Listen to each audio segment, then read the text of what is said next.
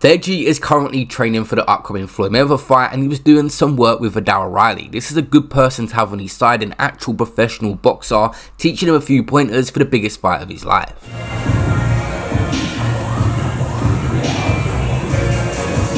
You like water, my friend?